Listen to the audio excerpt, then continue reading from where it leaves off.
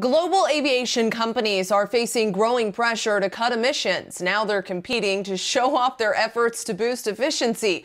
U.S. plane maker Boeing held a conference in Seattle back in September showing off the 737 MAX 9 and in addition to making the airplanes lighter, Boeing says it's also trying to smooth out its designs to reduce the plane's drag. The jet is also testing fuel made from bio waste, but right now the fuel is too expensive and not in mass production.